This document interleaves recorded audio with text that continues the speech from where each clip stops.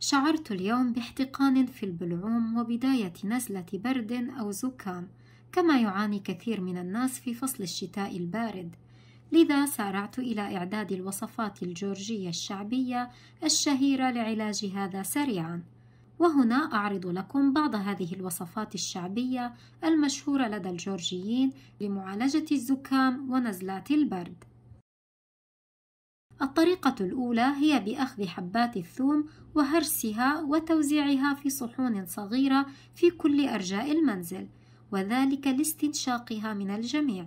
فالثوم لدى الجورجيين أداة فعالة وسريعة في مكافحة الرشح والزكام. أما الطريقة الثانية فهي بمزج مسحوق الثوم هذا بالعسل وشرائح الليمون وطبعا الجورجيون مشهورون بالعسل الطبيعي ذو الجودة العالية. بالتالي هذه الطريقة سهلة ومتوفرة للجميع. وتصلح هاتان الطريقتان للصغار والكبار. أما الطريقة الثالثة فهي الطريقة الطبية أو الدوائية.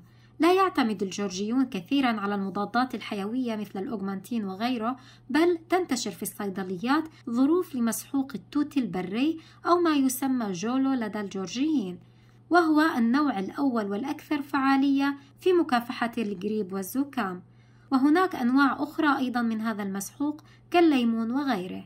طبعا يدخل في تكوينها بعض المواد الدوائية الأخرى. أما طريقة استخدامها فذلك بتسخين الماء جيدا إلى حد ما قبل الغليان أي لا يجوز أن يكون الماء مغليا.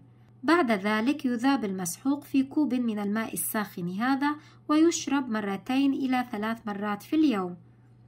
وعن تجربتي الشخصية فبعد تناولي للجرعة الثانية منه أشعر بتحسن كبير جدا. رغم أن خياري المفضل هو المتة بالزنجبيل لكنها صراحة لا تغني عن كل ما ذكرت سابقا.